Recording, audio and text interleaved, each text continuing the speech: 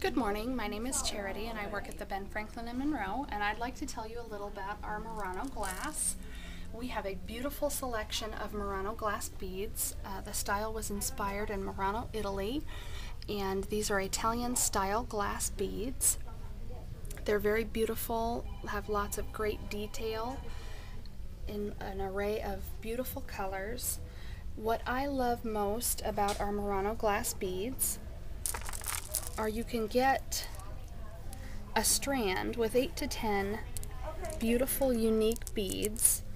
And you don't have to buy 8 to 10 strands of beads. You can get one that is already color coordinated and goes together already makes a great bracelet and beautiful watch bands